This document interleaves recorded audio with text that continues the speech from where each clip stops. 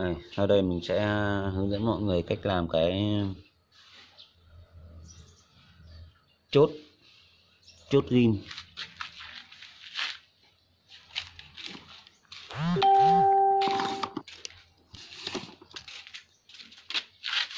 ừ. đo này nó này vào 10 13 phần 5 13 phần 5 này.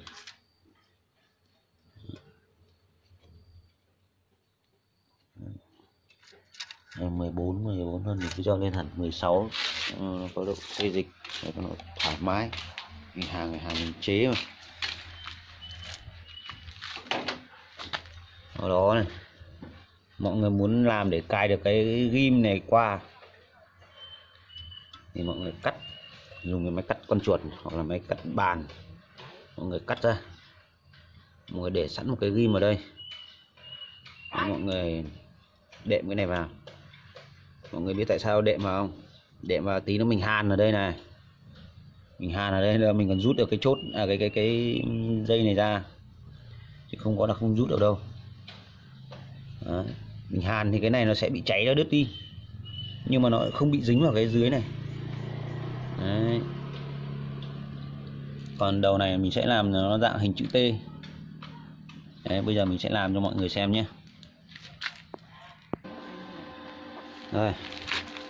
À, sau khi mình hàn này cái dây là mình sẽ quay được.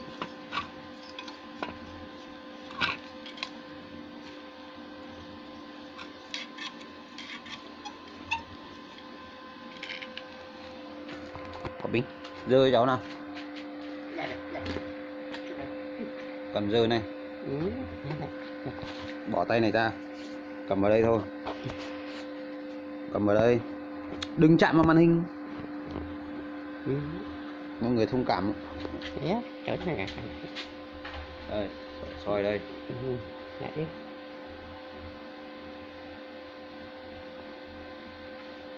Sau chắc mình phải thiết kế ra cái cái cái gá để mình quay cái này. Ừ.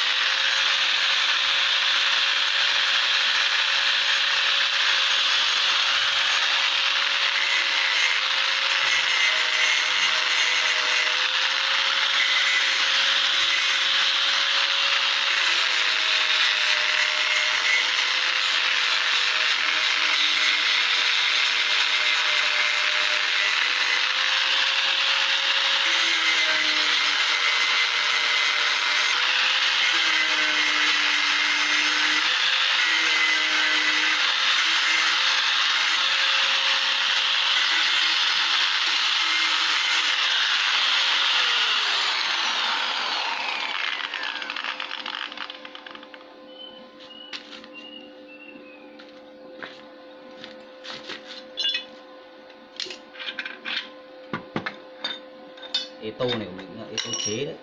Ừ. chỗ